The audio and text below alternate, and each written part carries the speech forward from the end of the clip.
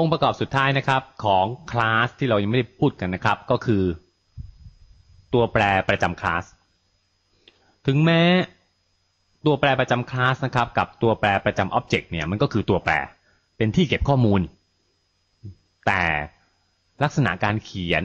นะครับ การใช้งานนะวัตถุประสงค์ที่เรานำไปใช้เนี่ยนะครับ จะต่างกันมากครับ ที่ผ่านมาเราทราบมาแล้วว่า ตัวแปรประจำ object เนี่ย ก็เป็นที่เก็บข้อมูลที่บรรยาย ลักษณะสมบัติอะไรบางอย่างของตัว object นะโดยข้อมูลที่เก็บตามประจำ object เนี่ยนะครับ จะเก็บของใครของเขาไม่เกี่ยวกันใช่ไหมครับ object เกิด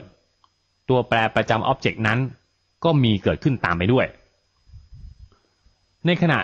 ที่ตัวแปรประจำคลาสเนี่ยนะครับ จะไม่ใช่มีลักษณะนั้น แต่จะเป็นที่เก็บข้อมูลส่วนกลางครับ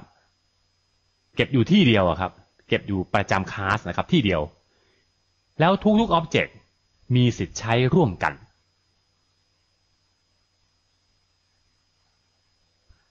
ถ้าเรามองจากตัวคำสั่งประกาศตัวแปรเนี่ยนะครับ จะเห็นชัดเลยครับว่า ประจำคลาสกับประจำอ็อบเจกต์เนี่ยต่างกัน นั่นก็หมายนั่นก็คือ ตัวแปรประจำคลาสเนี่ยจะมีคำว่า static กำกับครับ ในขณะที่ตัวแปรประจำอ็อบเจกต์ไม่มี อันนี้สอดคล้องกับถ้าเปรียบเทียบระหว่าง method ประจำ object กับ method ประจำ class นะครับ object method กับ class method ก็เป็นทำนองเดียวกันครับ class method มีคำว่า static อยู่ที่หัว method object method ไม่มีคำว่า static นะครับเอาละครับนี่มองในมุมของการเขียนนะเพราะฉะนั้นถ้าเราประกาศตัวแปรนะอย่างเช่นในที่นี้ตัวแปร sv นะครับก็จะเป็นตัวแปรประจำคลาสนะครับบางทีเขาเรียกตัวแปรประจำคลาสเนี่ยนะครับว่า static variable นะนอกจากจะเรียกว่า class variable แล้วนะครับบางทีเรียก static variable อ่าในขณะที่ ov ตรงนี้นะครับก็จะเป็นตัวแปรที่เกิดกำกับ object แต่ละตัวที่เกิดขึ้นลองมาดูตัวอย่างครับสมมติว่าผมกำลังจะเริ่มทำงานเนี่ยนะครับ มันก็มีคลาส A เรียบร้อยแล้วนะครับ เพราะคลาส A เราสั่งแปลเรียบร้อยหมดแล้วเนี่ยนะครับ เราก็จะมีเลยครับนะมีที่เก็บส่วนกลางเลย ชื่อว่า sv นะเนื่องจากอันนี้เป็น int นะครับ ก็จะเริ่มต้นมีค่าศูนย์ให้เอาละครับพอเราสั่ง sv เนี่ยนะครับให้เป็นห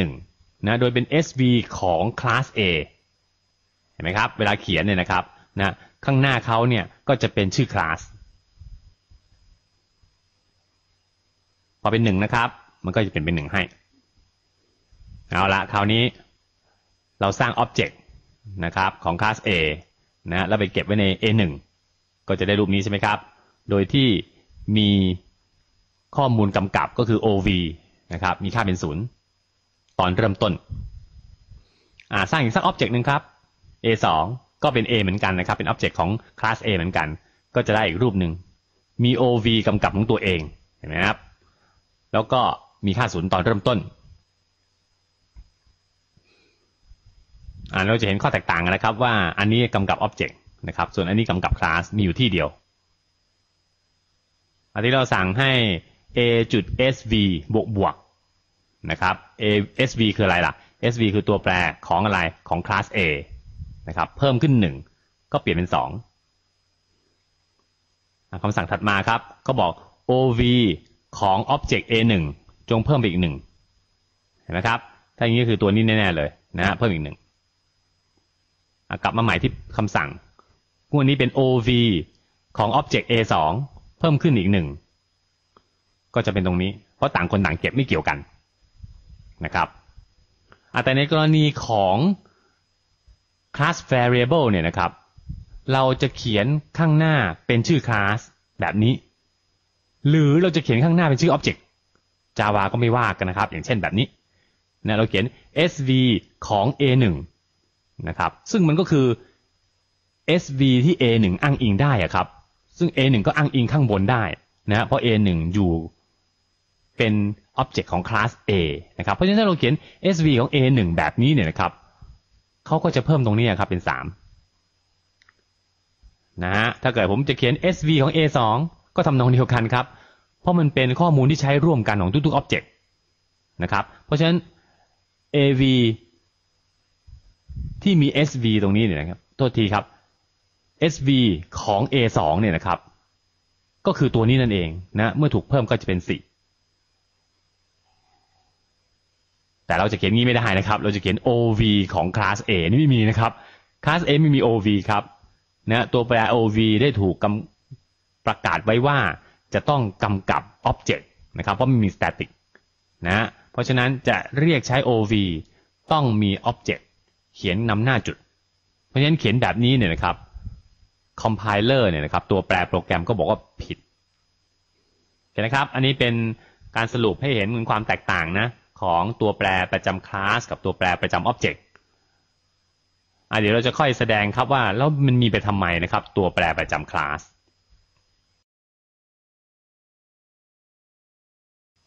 ขอเริ่มด้วยการสาธิตวิดโปรแกรมโปรแกรมหนึ่งนะครับ ที่เราอยากจะรู้นะครับ สมมุติเราเขียนคลาสคลาสหนึ่งเนี่ยเรามีความอยากรู้นะว่าไอออบคลาสเนี้ยได้เคยผลิตอ็อบเจกต์ไปกี่ตัว นะนี่คือโจทย์ นะครับว่าคลาสนี้เคยผลิตอ็อบเจกต์ไปกี่ตัวโอเคนะครับ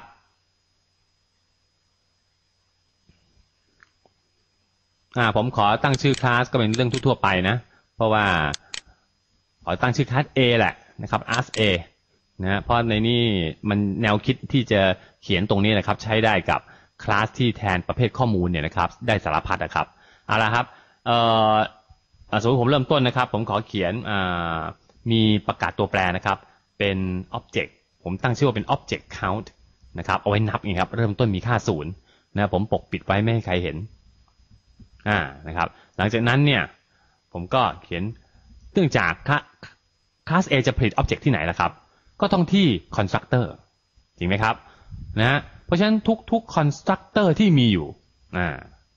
นะครับ สมมติว่า A เนี่ยมี constructor หลายแบบนะครับ A มี constructor หลายแบบ นะ แล้วเราก็จะเอาไอ้นี่ฮะไปซ่อนอยู่ข้างในนะครับ เนี่ย object count นะครับ บวกบวกเห็นไหมไปซ่อนอยู่ เพราะฉะนั้นถ้าคุณจะ new แบบบนหรือ new แบบล่างเนี่ยนะครับ ตัวแปร object count ก็จะเพิ่มครับนะฮะเราก็จะคอยนับคอยนับจริงไหมครับเอาละตอนนี้เราจะไปทองทดลองดูนะครับ ผมขอ new application นะครับก็ test นะครับ object count นะคืออยากจะทดสอบดูครับอ่าก็เริ่มนะแล้วก็ a a 1นะครับเท่ากับ new a อย่างนี้นะครับ a a 2ก็เท่ากับ new a อ่าตัวอย่างนี้นะครับนะอ่าความจริงเราทำอย่างนี้เลยก็แล้วกันนะเราติดวงวนไปเลยครับนะฮะบอกว่าเอ๊ะสักสิบตัวอ่านะครับ เรียบร้อยนะฮะแล้วก็เอ่อ new a เลยครับ new a เล่นๆนะฮะเอาละนะฮะนี่ new a เล่นๆนะครับ แล้วก็ทำ อ่ออีกซักเอ่อห้าครั้งนะครับ แต่ new a ห้าอ่าอย่างนี้นะเพราะฉะนั้นอันนี้นี่เอาไว้เรียก constructor แบบหนึ่งนะครับแล้วนี่ก็เรียก constructor อีกแบบหนึ่งนะฮะแบบบนกับแบบล่างอ๋อแต่แน่นอนครับ เนื่องจากตัวแปรนี้เราเก็บไว้ภายในนะเพราะฉะนั้นเราต้องให้บริการสักบริการหนึ่งนะครับ เพื่อที่จะขอดูนะครับอ่าก็ public int นะแล้วก็ get object count นะครับ แล้วก็ return นะ object count เรียบร้อยนะครับ เอาละก็เราเราจากนั้นเราทดลองเรียบร้อยแล้วใช่ไหมครับนะเอ่อผมก็ขอแถมอีกสักตัวหนึ่งอะนะฮะอีกสักตัวนะครับ A new A อ่าเรียบร้อยแล้วครับงวดนี้ก็แสดงเลยครับนะ A จุด get object count เห็นนะครับ เพราะฉะนั้นก็ควรจะพิมพ์อะไรล่ะครับ ตรงนี้หมุนสิบครั้งใช่ไหมครับ object count ก็เป็นสิบหมุนอีกห้าครั้ง object count ก็เป็นสิบห้าอีกครั้งหนึ่ง new ตรงนี้ก็เป็นสิบหกสั่งทำงานครับ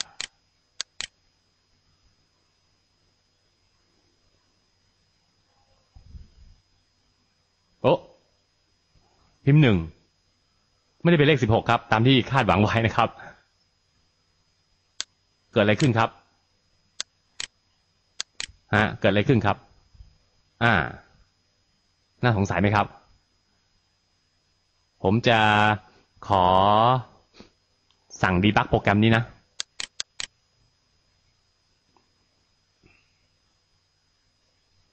เอาแล้วนะครับ เรียบร้อยนะฮะมาตรงนี้นะฮะอะขอ เอาละหลังจากนั้นก็ให้ลงไปทำงานอ่าลงไปครับ new a new a นะครับฮึบลงมาละนะฮะก็มาที่นี่ใช่ไหมครับ ลงมานี่อ่าขึ้นไปครับนะเอาขึ้นไปใส่ศูนย์ก่อนนะครับ ใส่ศูนย์ที่เรียบร้อยนะครับ เอาละแล้วก็ความจริงไม่ต้องเขียนศูนย์นะครับเพราะมันใส่ศูนย์ให้อยู่แล้ว นะฮะใส่ศูนย์ให้อยู่แล้วนะครับ อ่า นะเพราะฉะนั้นขอเดี๋ยวขอเปลี่ยนก่อนแล้วกันไม่ต้องไปใส่มาหรอกนะครับ เสียเวลาเอาใหม่นะครับดีบัก อ่าลองเข้าไปนะครับปึ๊บ new a ขึ้นมาละปึ๊บ object เข้าเป็นศูนย์นะตอนนี้ปึ๊บเป็นหนึ่งอ่าเรียบร้อยนะครับเป็นหนึ่งแล้วนะครับโอเคครับปึ๊บออกมาวนกลับขึ้นไป new a ใหม่ปึ๊บ object เข้าเป็นหนึ่งอุ้ยเป็นศูนย์อย่างเก่า เป็นศูนย์อย่างเก่า เพิ่มแล้วก็เป็นหนึ่งอ้าวทำไมเป็นอย่างนั้นล่ะครับทำไมมันค่ามันไม่ไม่เปลี่ยนจากไม่เก็บค่าเมื่อกี้เนี่ยครับอลองกลับขึ้นไปใหม่นะครับ ขึ้นใหม่ๆลงมา new a อีก มาตรงนี้ อ้าว object เข้าเป็นศูนย์อีกแล้วเห็นเห็นความผิดพลาดยังครับ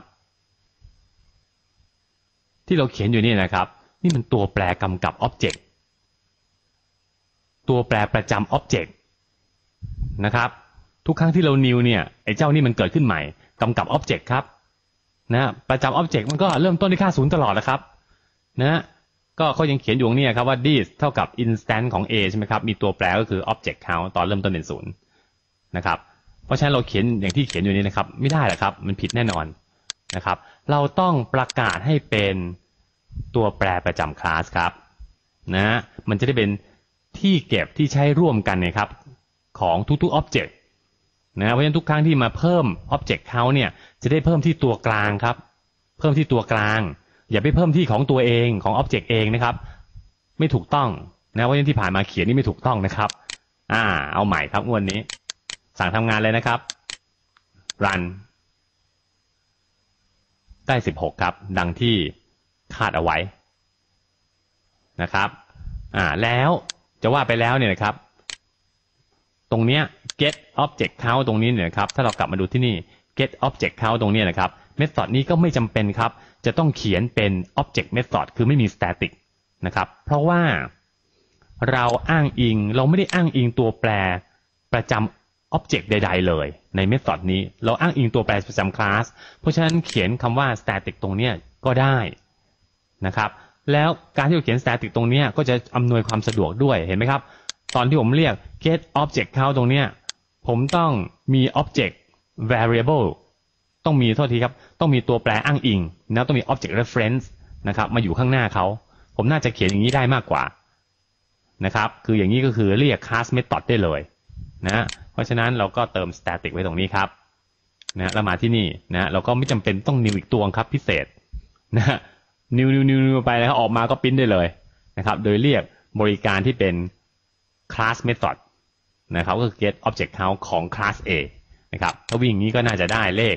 15เห็นนะครับเพราะวนตรงนี้10ตัวและนี่อีก5ตัวครับ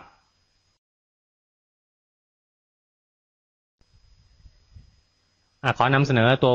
ตัวอย่างของโปรแกรมต่อไปนะครับเพื่อที่จะแสดงให้เห็นถึงวัตถุประสงค์ของการใช้ตัวแปรประจำคลาสครับ คราวนี้ก็จะวกกลับมาสู่ปัญหาที่เราเคยเขียนนานมาแล้วครับ ซึ่งเป็นปัญหาง่ายๆนะคือจะแสดงชื่อวันนะครับจากหมายเลขวัน นะครับ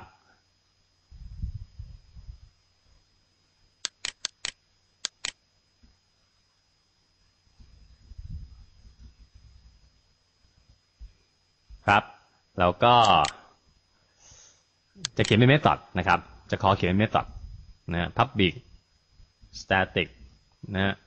เอ่อ string ใช่ไหมครับนะแล้วก็ method ชื่อ get day of week กันแล้วกันนะครับ แล้วรับหมายเลขวันเข้ามาแล้วเราก็หวังว่าถ้าเราเรียกใช้นะครับ system จุด out จุด print line นะครับเอ่อแล้วก็ get day of week เนี่ยนะครับ ส่งหมายเลขสองมาก็น่าจะได้ วันอังคารนะโดยเราจะกำหนดให้เลขศูนย์นะครับ คือวันอาทิตย์นะแล้วก็ศูนย์นะครับศูนย์เราจะได้เป็น Sunday นะ นะหนึ่งเป็น Monday นะครับ แล้วก็ไปเรื่อยๆนะจนกระทั่งหกนะครับ ก็เป็น Saturday เอาละครับเราจะเขียนแบบง่ายสุดนะ คงจะไม่มานั่ง if if if if if นะครับ ไม่มาใช้ switch case ครับ เราก็จะใช้ที่เราเคยเขียนนะครับ ก็คือใช้เป็น string array ของ string นะครับ ชื่อ day of week นะครับ แล้วเราก็ใส่ไปเลยครับ Sunday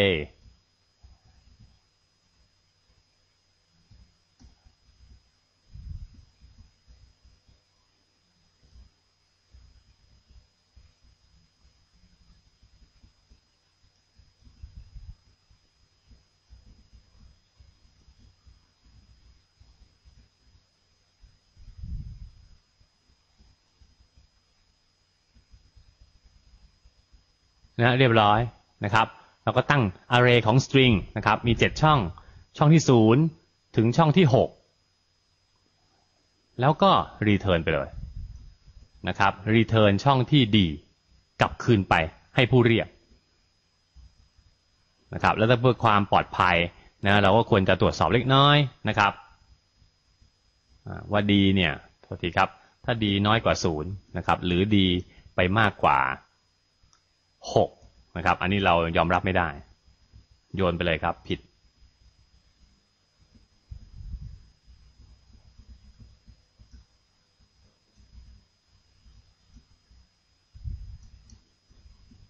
นะครับโอเคเรียบร้อยนะอะลองทดสอบกันครับ run โอเคนะครับ สิ่งที่เราเห็นอะไรบางอย่างเกี่ยวกับ เอ่อเมธอดเนี่ยนะมันจะดูแปลกๆ ถ้าเกิดผมเรียก get day of week นะครับสักร้อยครั้งนะเขาเข้ามาปั๊บนะครับเขาก็ต้องมาสร้างอะไรจริงไหมครับ เพราะว่า dow เนี่ยเป็นตัวแปรภายในเมธอดนี้ เขาก็สร้างอะไรสร้างเสร็จปั๊บแล้วก็คืนค่ากลับไป เรียกอีกครั้งหนึ่งกลับมาก็สร้างอะไรของ string เจ็ดตัวเนี้ยแล้วก็นำค่าค่าหนึ่งคืนกลับไป เรียกมาก็สร้างอีกเรียกมาก็สร้างอีกทำไมต้องสร้างตลอดล่ะครับ ถ้าตรงนี้มันใช้บ่อยจริง ๆนะครับ ถ้าตรงเนี้ยนะเมธอดที่ใช้บ่อยเนี่ยนะครับ เราก็โยกนี่ไปสิครับ โยกขึ้นไปข้างบนเลย นะฮะเราเขียนไว้เลยอะเขียนเป็น private ก็ได้คนอื่นจะไม่เห็นนะครับ private static ก็จบนะครับนะอะเราลงมากองไว้ข้างล่างเลยก็ได้นะครับปุ๊บอย่างเงี้ยนะแล้วก็ทำเป็น private static เอาไว้ พอเข้ามาปั๊บเนี่ยนะครับงวดนี้เราไม่ต้องละ เราตรวจสอบ เอออยู่อยู่ในช่วงปั๊บเรา return ไปเลยครับ เพราะ DOW อยู่ข้างบนนะเพราะนี่เป็นตัวแปรประจำคลาสแต่คราวนี้เป็น array ของ string ก็ไม่เป็นไรนะครับ แล้วชุด array ชุดนี้ก็จะถูกสร้างครั้งเดียวนะครับ ตอนที่คลาสนี้เกิด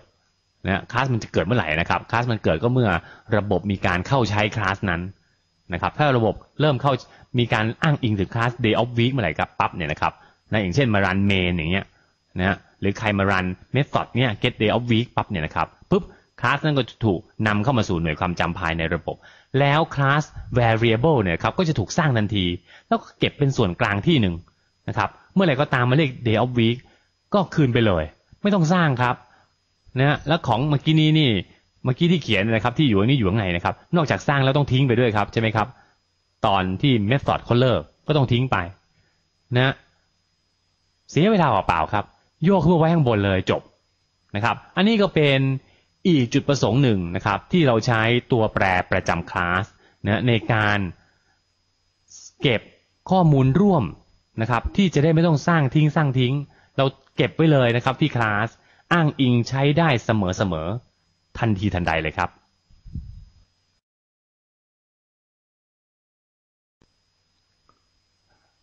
จุดประสงค์การใช้ตัวแปรประจำคลาสอีกอย่างหนึ่งนะครับ ก็คือใช้เป็นค่าคงตัวครับ เป็นค่าซึ่งจะไม่เปลี่ยนค่าอีกต่อไปนะแล้ววางไว้ประจำคลาสเพื่อให้ผู้อื่นใช้นะครับ หรือใช้ภายในคลาสเองก็ได้นะครับ ตัวอย่างเช่น เราเคยได้เขียนไอ้เจ้าสี นะครับ เราอ้างอิงสีใน d window มาแล้วนะครับไอ้ตัวเนี้ยครับ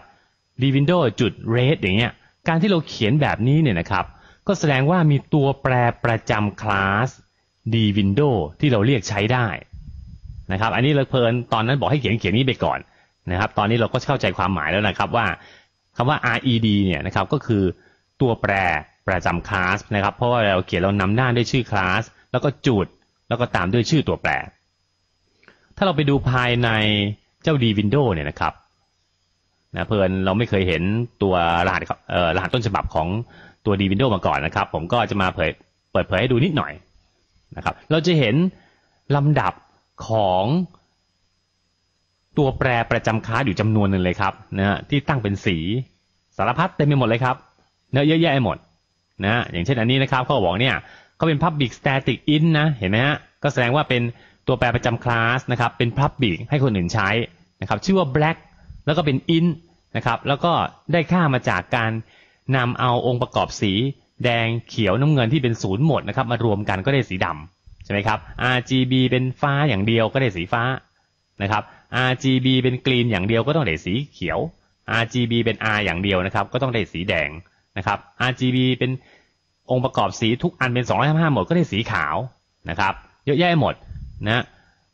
ยังมีอีกเยอะนะครับยังมีหลายตัวนะครับ แล้วภายในเนี่ยก็มีตัวแปรประจำ object นะชื่อ width ชื่อ height นะครับ อันนี้ก็คือความกว้างความสูงของ Windows ที่สร้างนะครับนะแต่อันนี้มันกำกับตัว Windows นะเพราะเราสามารถที่จะ new d window ได้หลายอันนะครับนะแต่สีมันก็ยังเป็นอย่างนี้เลยครับ สีดำสีน้ำเงินนะครับ สีเขียวสีแดงสีขาวก็ยังมีค่าอย่างนี้อยู่นะครับ เราก็เลยให้เขาไปเก็บ ไว้ส่วนกลาง ประจำคลาส d window ผู้ใช้ก็ใช้ง่ายนะครับ เขียน d window จุด red เลยนะครับโดยไม่จำเป็นต้องมี object อยู่ข้างหน้านะครับหรือจะเขียนแล้วอ้างอิงด้วย object เฉยๆ อย่างเช่น ตรงนี้จะใช้คำว่า w จุด red ก็ไม่ผิดนะครับจะใช้ d window จุด red ก็ถูกต้องนะฮะแล้วเราก็ภายในแน่นอนครับ การเขียนอย่างนี้นะครับ แสดงว่า mix RGB เนี่ยก็ต้องเป็น class method นะเป็น static method นะครับก็คือ method ที่มีคำว่า static นั่นเอง หรือที่เรียกว่าเอ่อ method ประจำ class นะครับเพราะว่าบริการนี้นี่ให้เรียกใช้ได้เลยครับนะผู้ใช้เขียน d window จุด mix RGB ได้เลยใช่ไหมครับดังที่เราเคยเรียนมาก่อนหน้านี้นะครับ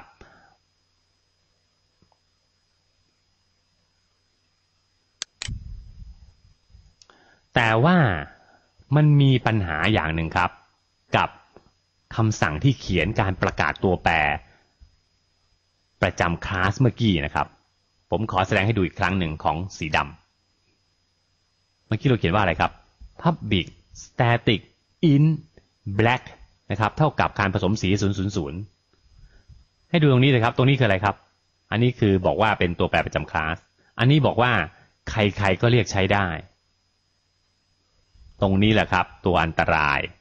ในเมื่อเราบอกใครๆก็เรียกใช้ได้ใช่ไหมครับ เพราะฉะนั้นถ้าเกิดมีใครสักคนเนี่ยในระบบเขียนอย่างนี้แหละครับ d window จุด black แล้วไปใส่เลขมั่วๆเพื่อตัวละครับ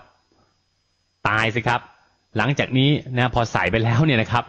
ทุกคนเนี่ยที่ใช้ d window จุด black นี่จะได้ค่าแปลกๆเลยนะครับ จะไม่ได้สีดำแล้วละครับ ผมก็ไม่ทราบกันค่าสีอะไร ซึ่งอันนี้เรายอมรับไม่ได้นะครับ ที่จะทำอย่างนี้ ไม่ได้ครับนะฮะ ค่าที่เราอุตส่าห์เปิดเผยให้ทุกคนใช้นะครับ แล้วเราใช้ร่วมกันนะเพราะเราเก็บไว้ในคลาสนะครับ เป็นอินนะแต่มีคนมาเปลี่ยนได้ ถ้าเราไม่ต้องการให้เขามาเปลี่ยนเราก็ใช้ private แต่เขาเข้ามาไม่ได้ เขาก็เอาไปใช้ไม่ได้ ก็ยุ่งอีกแล้วจะทำยังไงล่ะครับ อยากให้คนอื่นใช้ได้ แต่อ่านได้อย่างเดียวนำข้อมูลไปใส่ไม่ได้ จาวามีทางออกครับ จาวาบอกว่า ให้เติมคำว่า final ลงไปครับนะให้เติม final ลงไป ข้างหน้าการประกาศตัวแปรแบบนี้นะครับ แล้วการเติมตรงนี้นะครับ มีผลทำให้ตัวแปรที่เป็นแบบ final เนี่ยนะครับ จะใส่ค่าได้ครั้งเดียว ใส่ได้ครั้งเดียวครับนะนั่นก็คือตอนที่คลาสนี้ถูกนำเข้าสู่หน่วยความจำเนี่ยนะครับนะ black ก็จะถูกคำนวณตัวนี้ แล้วก็ใส่เข้าไปครั้งเดียว แล้วก็นี่เป็นครั้งสุดท้ายของเขา หลังจากนี้ถ้ามีใครมาเขียนแบบนี้นะครับ รหัสนี้เนี่ยจะแปลไม่ผ่านครับคอมไพเลอร์จะไม่ยอม ถ้าเขาเห็นอย่างเงี้ยที่ไหนนะครับ เห็น d window จุด black เท่ากับที่ไหนเนี่ยเขาจะฟ้องทันทีครับว่าโปรแกรมนั้นทำงานไม่ได้ครับนะเพราะว่ามันผิดกฎ เพราะ d window จุด black เนี่ย เป็น final นะครับ อันนี้เป็นเทคนิคครับ เพราะฉะนั้นเราจะเห็นได้ว่าคำว่า public static นะนั่นก็หมายถึง class method นะ class โทษทีครับ ตัวแปรประจำ class ที่เป็น public นะครับ ตัวแปรประจำ class เราเก็บไว้ที่เดียว เป็น public ด้วย คนอื่นอ่านได้ เราก็มักจะป้องกัน ไม่ให้คนอื่นเขียนได้ครับ ดังนั้นเราจะเห็นรูปแบบของตัวแปรประจำคลาสนะครับที่เป็น public static เนี่ยแล้วมีคำว่า final เนี่ยกำกับอยู่ด้วยเนี่ยนะครับแทบเสมอเลยครับ แต่ถ้าเป็น private static นี่อีกเรื่องหนึ่งนะครับเหมือนอย่างกรณีเมื่อกี้นี้นะครับที่เราตั้ง array ของ string แทนชื่อวันนะครับอันนั้นเราเก็บไว้ภายในก็ไม่มีปัญหาอะไรนะครับเพราะเราเองเป็นคนใช้เอง เราคงเองคงไม่พยายามจะไปแก้ไขเองนะครับยกเว้นเราไม่ไม่เชื่อใจตัวเองนะครับเราก็เขียน private static final ไป ซึ่งก็น่าจะเป็นเรื่องดีนะครับ แต่ยังไงก็ตามถ้าเป็น public static ในกรณีเป็นเม็ดเป็นตัวแปรประจำคลาสเนี่ยนะครับ เราจะเห็น public static final อยู่เป็นประจำเลย แล้วจะว่าไปแล้วเนี่ยนะครับคำว่า final เนี่ยก็ไม่จำเป็นละครับที่จะต้องใช้กับตัวแปรประจำคลาสอย่างเดียวนะครับ final เนี่ยนะครับใช้ได้กับตัวแปรทุกชนิดครับนะไม่ว่าจะเป็น parameter ตัวแปรประจำ object นะตัวแปรประจำคลาสนะครับหรือตัวแปรภายใน object ก็ตามนะครับการเขียนกำกับ final ไว้นะครับหน้าตัวแปรเนี่ยจะทำให้เราสบายใจนะครับว่าตัวแปรเมื่อได้รับค่าแล้วเนี่ยนะครับจะไม่เคยเปลี่ยนแปลง อย่างกรณีพารามิเตอร์อย่างเงี้ยนะครับค่าที่ส่งมาจากผู้เรียกนะครับพอส่งไปให้พารามิเตอร์ปั๊บที่เป็น final นะครับพารามิเตอร์นั้นก็จะมีค่าอย่างนั้นตลอดทั้ง method นะครับเราเขียนโปรแกรมนะครับเราก็จะสบายใจว่าเออมันไม่มีช่วงไหนในโปรแกรมของเราเนี่ยนะครับที่ไปแก้ค่าในพารามิเตอร์นะครับการแก้ค่าในพารามิเตอร์อาจทำให้ความคิดที่ว่าเอ๊ะพารามิเตอร์ตัวนี้มีค่านี้มีค่านี้นะมันเปลี่ยนไปได้ ถ้ามันมีคำสั่งที่แบบแก้ได้ แต่พอเราเขียน final กำกับปั๊บเนี่ยเราก็จะมั่นใจระดับหนึ่งนะครับว่าพารามิเตอร์รับค่าอะไรมาเข้ามาใน method เรา ก็จะได้ค่านั้นตลอดทั้ง methodและข้อสังเกตอีกอย่างนะครับ เมื่อใดเนี่ยนะครับตัวแปรเนี่ยนะเป็นค่าคงตัว ในที่นี้เนี่ยคำว่า final เนี่ยนะครับกำกำกับลงไปปั๊บเนี่ยก็เสมือนกับค่านี้เปลี่ยนแปลงไม่ได้ใช่ไหมครับนะหลังจากที่มีค่าแล้วตัวแปรนี้นะครับเปลี่ยนแปลงไม่ได้หลังจากมีค่าแล้วเนี่ยเราก็จะมองชื่อนี้นะครับเสมือนเป็นค่าคงตัวนะซึ่งเปลี่ยนไม่ได้เขาก็มีธรรมเนียมปฏิบัติอย่างหนึ่งนะครับ ในวงการนักเขียนโปรแกรมนะครับ โดยเฉพาะภาษาจาวาและภาษาอื่นๆ ด้วยซ้ำไปนะครับที่ ตัวไหนนะครับที่เป็นค่าคงตัวเนี่ยนะครับ มักจะตั้งชื่อด้วยตัวใหญ่หมดนะครับนั่นเป็นที่มาครับทำไมถึงได้เขียนคำว่า black ตัวใหญ่หมด red ตัวใหญ่หมด white ตัวใหญ่หมดนะครับอันนั้นเป็นเพราะว่ามันจะสะท้อนให้นะครับนักเขียนโปรแกรมพอเห็นชื่ออย่างนี้ปั๊บเนี่ยก็พอที่จะคาดเดาได้เลยครับว่าตัวเนี้ยมันเป็นตัวแปรแบบไฟแนลอันนี้ก็จะเป็นสิ่งที่ปฏิบัติกันในวงการนะครับ ถ้าเราปฏิบัติตามด้วยเนี่ยนะครับ คนอื่นมาอ่านโปรแกรมเราเนี่ยก็สื่อสารเข้าใจกันได้เร็วขึ้นครับอ่าก็กลับมาขอเขียนตัวอย่างให้ดูนะครับ เกี่ยวเรื่อง final นะครับอ่าอย่างตัวอย่างเมื่อกี้นี้นะครับนะ get day of week เนี่ยนะครับเรามีตัวแปรเอ่อที่เป็นตัวแปรประจำคลาสเอาไว้นะ แต่ในที่นี้เรา private นะครับ ก็ไม่แปลกนะครับ ถ้าเราจะเขียน final กำกับแบบนี้นะครับอ่าถ้าสั่งทำงานนะครับ ก็ทำได้เหมือนกันครับ ไม่มีปัญหา นะครับ แต่ข้อสังเกตนะครับ เกี่ยวกับ final ของตัวแปรที่เป็น array นะครับ สิ่งที่เขาป้องกันเนี่ยนะครับเขาป้องกัน final เนี่ยคำว่า final เขาป้องกันตัวแปรนี้นะครับนะซึ่งคือตัวแปรนี่คืออะไรฮะคือตัวแปร array ตัวแปร array คืออะไร ตัวแปร array เก็บตัวอ้างอิงใช่ไหมครับ เก็บตำแหน่งของ array นะครับ เพราะฉะนั้นเนี่ยเราจะเขียนอย่างนี้เข้าไปเนี่ยนะครับไม่ได้ อย่างนี้นะครับอยู่ดีผมบอกว่าเออขอ new ใหม่ ขอ new string ใหม่นะครับแล้วใส่เข้าไปนะฮะแกล้งใส่เข้าไปเล่นๆสองตัวไม่มีอะไรเลยนะครับแบบนี้นะคือขอ new string ใหม่ใส่เข้าไป dow อย่างนี้นะครับไม่ได้ครับนะอ่าลองสั่งนะครับ แปลดูนะเขาก็จะเตือนนะครับว่าไม่สามารถเปลี่ยนแปลงค่าของตัวแปร dow ซึ่งเป็นแบบ final ได้นะครับ อันนี้เปลี่ยนไม่ได้ เขาป้องกันเฉพาะตัวแปร dow นะครับ แต่ Final ตรงนี้ไม่ได้ป้องกันตัวอาร์เรกแต่ละช่องข้างในนะครับนะนะครับ อันนี้เป็นเรื่องของเรื่องจุจิกผมจะใส่งี้เนี่ยนะครับ ก็ยังแปลผ่านนะครับ เห็นไหมครับ แปลผ่านหมดนะฮะเพราะฉะนั้นอันนี้เป็นข้อต้องระวังด้วยนิดนึงนะครับ เกี่ยวกับการทำให้ array นั้น final นะครับ จะป้องกันเฉพาะตัวแปร array เท่านั้นนะครับ เราไม่ได้ป้องกัน แต่ละช่องใน array แล้วก็ไม่มีวิธีไม่มีวิธีป้องกันด้วยครับอาตอนนี้มาดูในกรณีที่เนี่ยครับ อันนี้ก็เหมือนกันนะครับ ผมสามารถผมลบตรงนี้ทิ้งไปนะ ผมสามารถที่จะใส่ final กำกับพารามิเตอร์ก็ได้ อย่างนี้นะครับนะใส่ไปนะใส่ไปปั๊บเนี่ยเราก็สบายใจว่าเออ ในโปรแกรมนี้นะครับ ใน method เนี่ย d เราจะไปสมมติใส่เลขเจ็ดอย่างนี้นะครับ อันนี้ก็ไม่ยอมครับไม่ยอมนะครับ ไม่ยอมนะสั่ง compile เนี่ยก็บอกว่าผิดแน่นอน นะครับเพราะไม่ยอมนะครับในเมื่อ d มันเป็น final แล้วเอาเลขเจ็ดไปใส่ได้ยังไงนะครับ อันนี้เป็นก็ทำให้เราถ้าเราเขียน method เนี่ยนะครับยาวหน่อยเนี่ยเราจะได้ไม่พลาดเผลอไปเปลี่ยนค่าของพารามิเตอร์นะครับ เราจะได้สบายใจว่า parameter d มีค่าตามที่เราต้องการตามที่รับมานะครับ ตลอดทั้ง method นะครับโอเคครับนี่เป็นตัวอย่างนะครับของการใช้ Final นะครับ